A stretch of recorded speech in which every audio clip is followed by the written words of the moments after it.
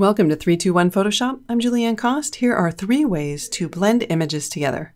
First, I'm going to create a new document at the desired canvas size, and then I'll open all of the images that I want to use and choose Window, Arrange, Tile. With the Move tool selected, I'll click on each individual photograph and drag and drop it into the untitled document, and then close the individual photographs.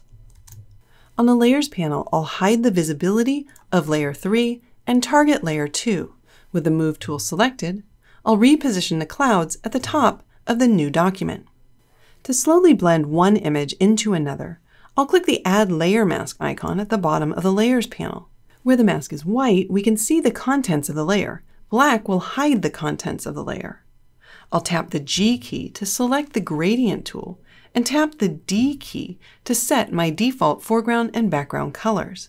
Dragging a gradient from white to black will slowly hide the bottom of the photograph. You can experiment with dragging gradients of different lengths. The shorter the gradient, the more abrupt the transition is going to be. A second method for compositing images is to first make the selection and then add the layer mask.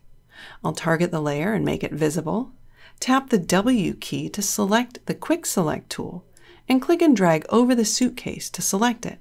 Then I'll click the Add Layer Mask icon at the bottom of the Layers panel. Photoshop automatically creates a mask based on that selection. To soften the edge around the object, on the Properties panel, we'll add a slight feather.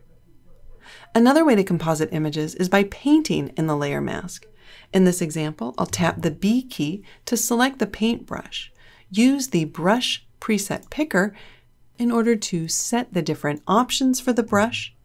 And then I'll tap the X key to exchange my foreground and background color so that I'm painting with black in order to hide the bottom of the suitcase and make it appear as if it's sitting in the water.